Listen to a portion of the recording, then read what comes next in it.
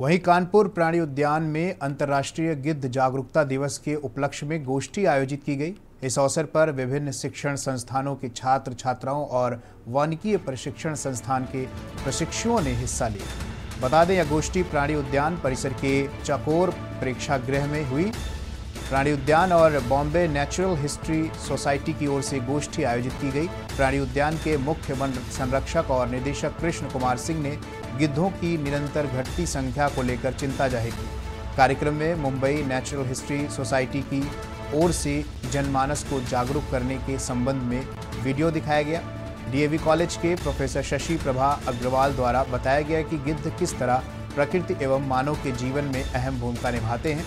प्राणी उद्यान के प्रभारी चिकित्सा अधिकारी अनुराग सिंह, पशु चिकित्सा अधिकारी डॉक्टर मोहम्मद नासिर आदि ने चर्चा में हिस्सा लिया।